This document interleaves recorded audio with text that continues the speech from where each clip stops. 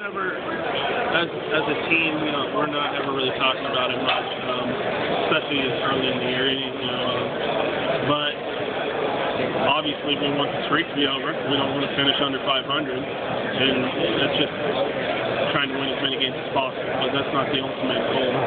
Um, it's just going to be part of the process of where we want to go. The streak's got to end, and you know, if we're able to do that this year, that'd be great. You know, the fans are really um, coming out right now and really giving us a lot of support, and they're real excited about it. And I think with the team that we have, we're just going to keep playing better. It's not a it's not a team of kind of guys that are at the end of their career. I think it's guys that are younger, getting better and better and better with confidence. And I'm just excited to be in Pittsburgh at this time. I think it's a good time for Pirates 2020. Is there any kind of pressure to be there fighting?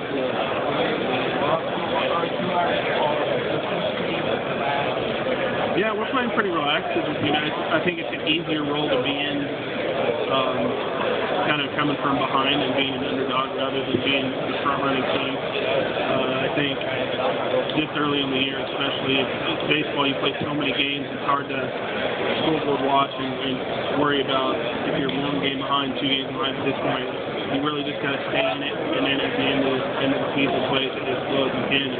And right now, I think we're doing a good job of just competing every day and try, just trying to win series and not really concerning ourselves with, with what the other teams are doing in our division.